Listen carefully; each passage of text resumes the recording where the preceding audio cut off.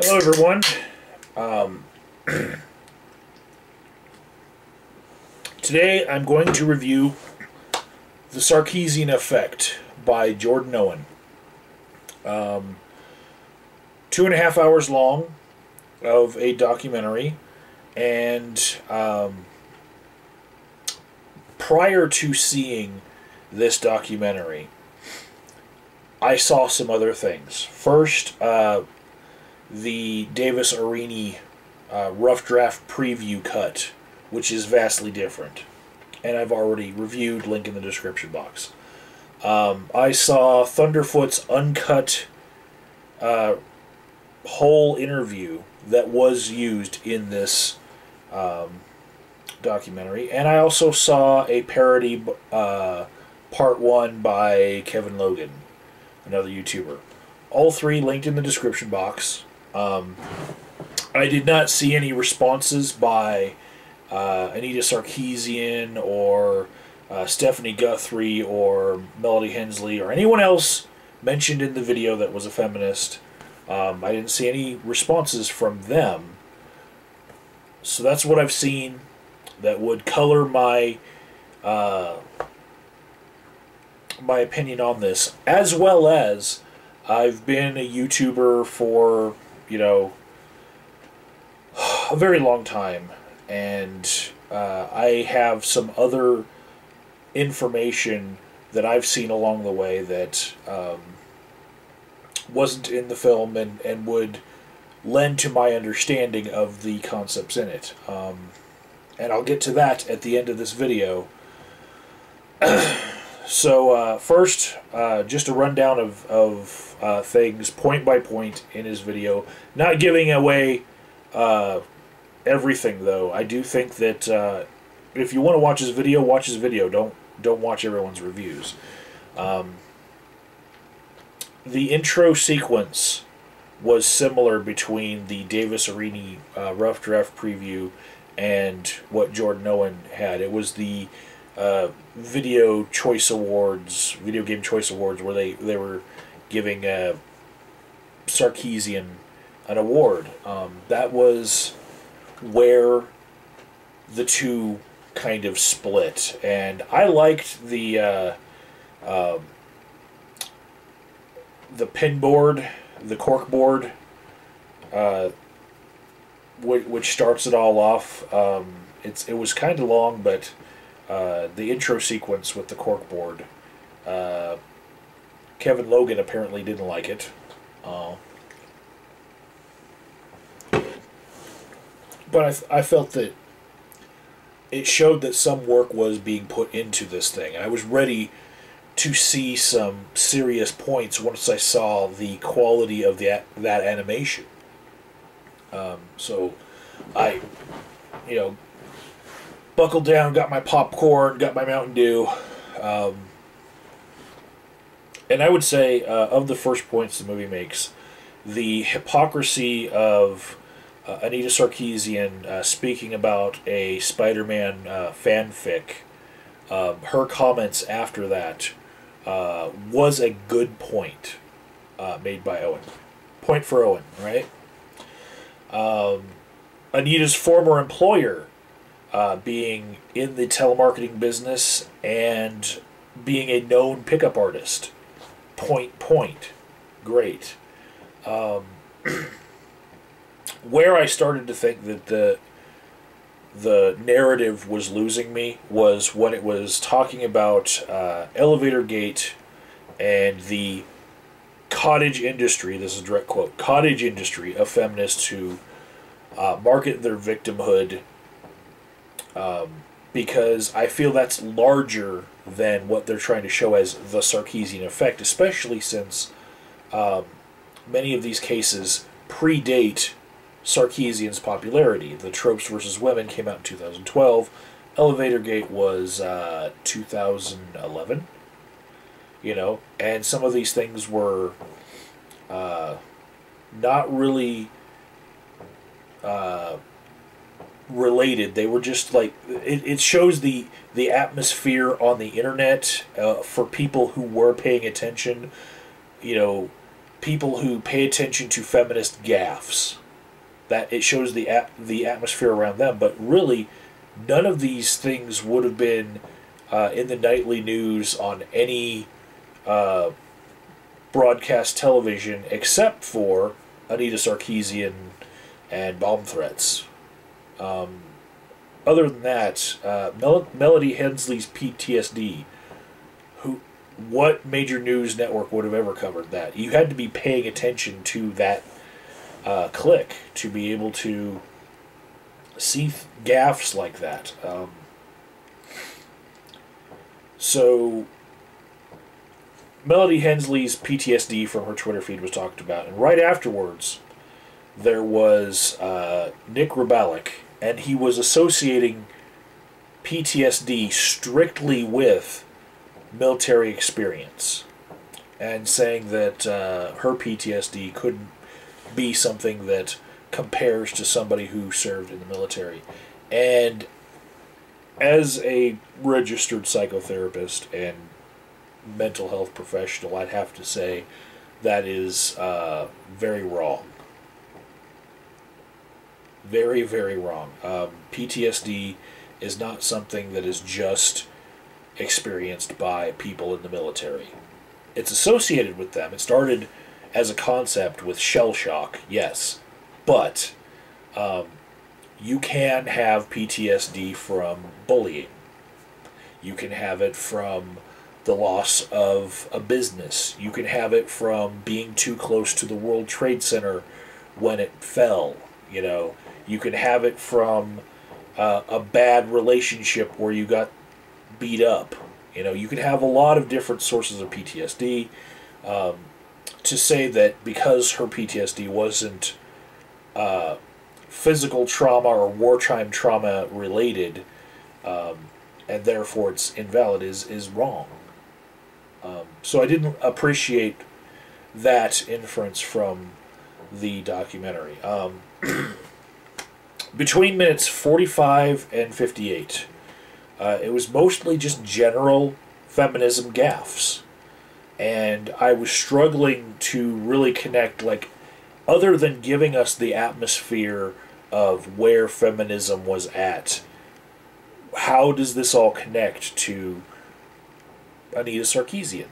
But then, uh, around 58 minutes in, it was uh, Stephanie Guthrie, and she was the the example that tied it back into Sarkeesian because she spoke about Sarkeesian in a speech. Um, and in response to that, there was a segment where Tim Meehan was interviewed, and that was way long and hard to follow. It was like 15 minutes of an interview that I thought was local politics and I did not give a shit about. Um, it lost me. Uh, one hour and 20 minutes into it, there's something that Owen brings up that the rough draft preview of uh, Davis Aurini did not bring up that I I was livid that it wasn't in, in the Davis version, uh, and that was the Zoe post. Good.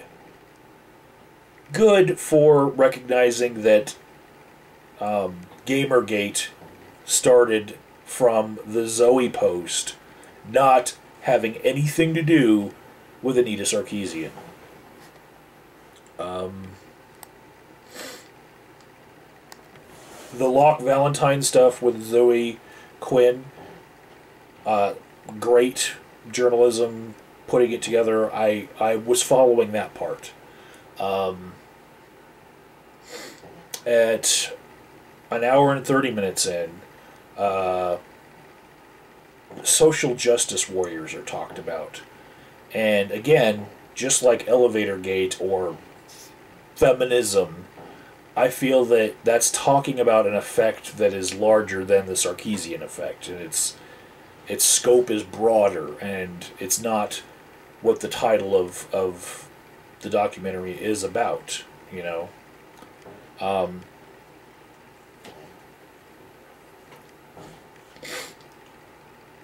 the the gamers are dead articles, uh, how that was talked about about the common narrative collusion.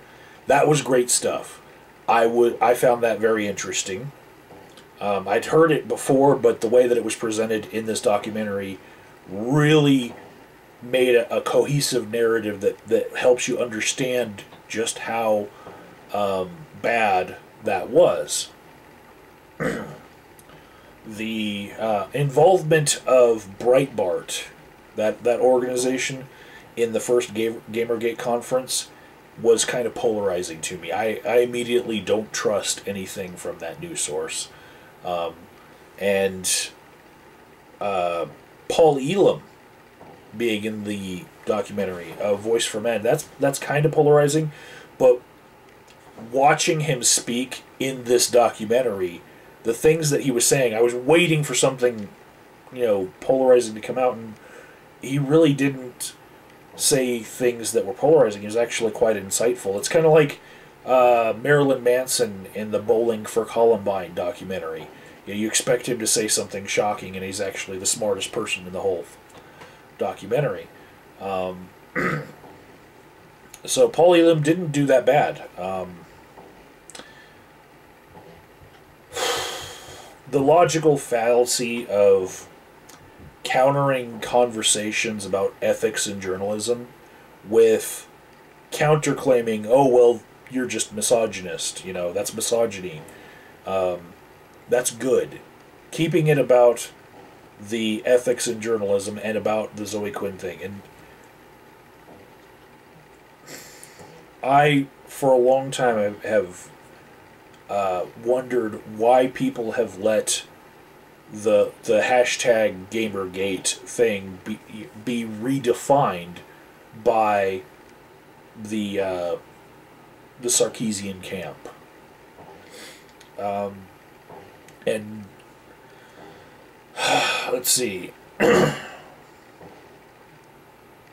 hour and fifty seven minutes in, uh, Marxism is brought up as the root of neo feminist theory, and I think I've I've spoken about this in other videos that I don't think neo feminists realize the roots of their uh, their feminism or their neo feminism being in Marxism.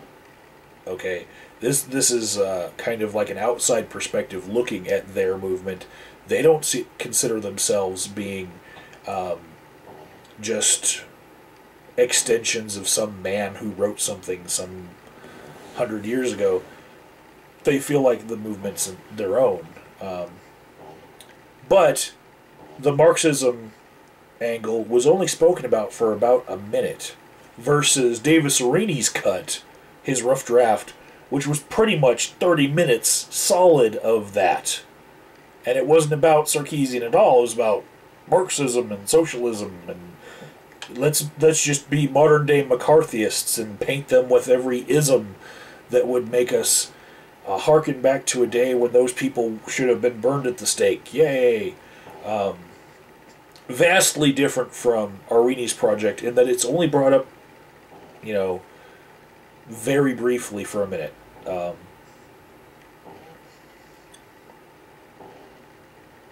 the story of the actually raped sex worker that social justice warriors didn't care about uh, fell a little flat for me because I don't I don't see it as something where like well because you care about this well why don't you care about this? And why don't you care about this? Well, these are much bigger topics. You know you could any topic that somebody is an advocate for you could say you know there's a hundred different things that they're not caring about. And it seemed like that was more of uh, a talking point of the anti-feminists than it was the feminists themselves. I mean, they it wasn't really something that they had to have an opinion on.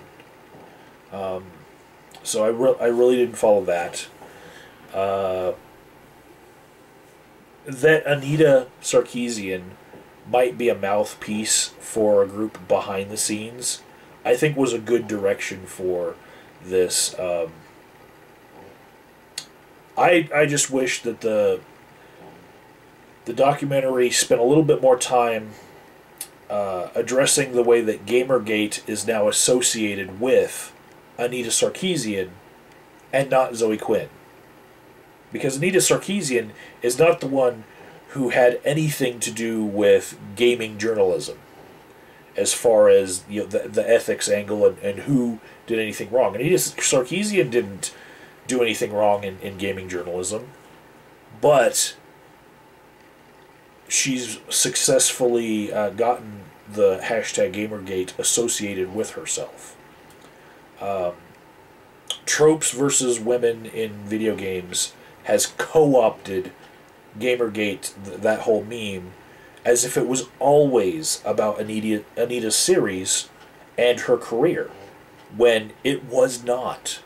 It had nothing to do with her for a long time, for, for months. And then, you know, uh, everyone who was involved in Gamergate as, as the, the prime suspects, the those who did wrong, they kind of faded back, and, and then Anita rose to prominence. That's that's the point that I didn't really feel like was hammered home. Um,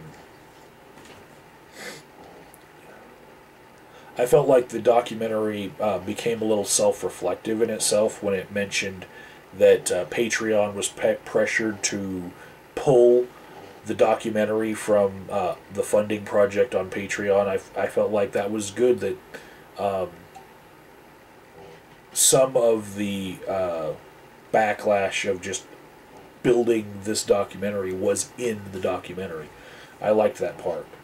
Um, at two hours and 11 minutes of this documentary, um, there's a segment with uh, what looks like a constellation or a solar system, you know, and while this space is is uh, on the screen, just space.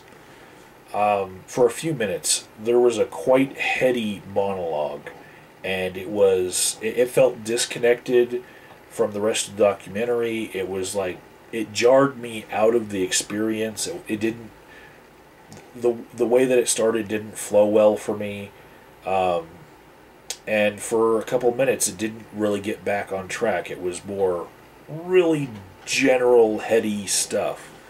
Um, not quoting it because you should go watch it yourself. Um, around uh, two hours and 15 minutes in, there's a lot more associating feminists with communism and socialism, and there's imagery, and I'm just going to call that part of uh, the narrative of Owen's camp neo McCarthyism, um, because it's just trying to associate them with uh, groups with similar ideas that have already been demonized, and therefore they are also bad. Um, but the rest of the monologue I felt felt was more on target, um, more than me just criticizing the neo McCarthyism aspect of it. Um, I really enjoyed the history of gaming montage in it. Uh, I was looking for games that I was playing through those years, and I realized that I was playing a completely different set of games. Um, I haven't been a console gamer as much as a PC gamer most of my life, so um, I guess I missed out on something there. Uh, I didn't appreciate the inference that Anita's activism might have been uh, inspired by childhood trauma, which was brought up by Paul Elam and the next chick in the, in the documentary. Um, in the closing sequence of things said directly to Anita Sarkeesian. Um, I did, however, feel that it was brief and nowhere near as big of a deal as the Aurini version might have made it, um, because I've been following the, the drama between uh, Davis Aurini and, and Jordan Owen, the back and forth, made it look like that might have been a much bigger part of an Aurini director's cut rather than a Jordan Owen version. Um, and I, I was glad that it was just those two commenters. Um, I still don't think that that's uh, a tree to go barking up. Um, the soundtrack I felt was pretty good. Uh, it was a little loud during a Thunderfoot segment. Um, I I felt like the the classical style music was kind of the same volume as Thunderfoot's voice. Um, it might have been the machine I was watching on though. Uh, there was one part that I would categorize as gu- guitar masturbation. Owen, if you're if you're listening, you know um, that kind of soloing I, I don't really uh, like anymore. It reminds me of the '80s. Um, I was thinking about uh, how much better of a guitarist Jordan Owen was than I am, uh, than what was actually being said during, during that segment. So I actually had to rewatch that segment. Um, that's about uh, all of what I felt about the documentary as as it is. But right now, I'm going to say what was missing from the documentary. Key points here. Um, biggest thing for me being that Gamergate was not about Anita Sarkeesian, and it has been co opted, and now it is about Anita Sarkeesian. Biggest thing for me is Anita Sarkeesian's appearance on the Colbert Report was not in this documentary. And that was, like, for me, the defining moment where she finally achieved ownership of Gamergate. It is about her now because Stephen Gol- Colbert said it was about her and her tropes versus women and had no mention of Zoe Quinn anywhere in that interview. Um, that was the complete dominance of her, of that hashtag, of that meme. And it's nowhere in the documentary. Um, other YouTubers that had criticized Anita Sarkeesian that could have been in uh, the documentary, like uh, Tool Time, his his uh, series on her series, nowhere in the documentary, and it could have been very easily. Um, the Amazing Atheist videos, nowhere in this documentary, and if you're going to say that Thunderfoot uh, helped grow her infamy by, you know, making her a feature of his channel while he was um, doing criticism of her, you'd also have to say the Amazing Atheist, who has a larger s- subscriber base, had something to do with it. Um, the falling out of Thunderfoot between between him and Free Thought Blogs and PZ Myers. Nowhere in this documentary, and there was a place for it. There was a whole montage of what was going on in the world dur- around this time with, with feminist gaffes. That controversy kind of fit that uh, atmosphere, you know. Um, Mr. Epsilon was in the movie for like two seconds, right? There was a little flash of him, but uh, nothing about the FBI going over to his house because the uh, bomb threat from the uh, University of Utah was signed Mr. Epsilon by some troll. Uh, that I felt like, why wasn't that in? If you're going to show two seconds of him, that's kind of part of Anita Sarkeesian's story that, you know, it, it's serious. The FBI was sent to somebody's house because of that bomb threat. Um, you did talk about the FBI. You did, you know, that. I I just felt like that could have been explored a little bit more, especially since this was two and a half hour long movie. Little little things like what I what I brought up just now not being in it, I felt, you know, there was room. There was room. Um, and even if it would have made it 30 minutes longer, hell, it was already two and a half hours long. So, those are my thoughts. Uh, lots of links in the description box. And uh, comment below if you feel like I said something offensive because Lord knows you can't say anything about this subject without someone getting offended.